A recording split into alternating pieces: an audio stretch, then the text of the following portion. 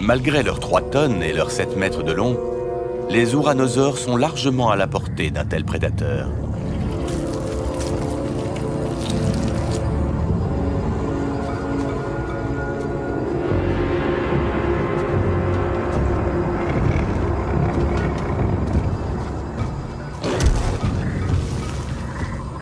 Euh,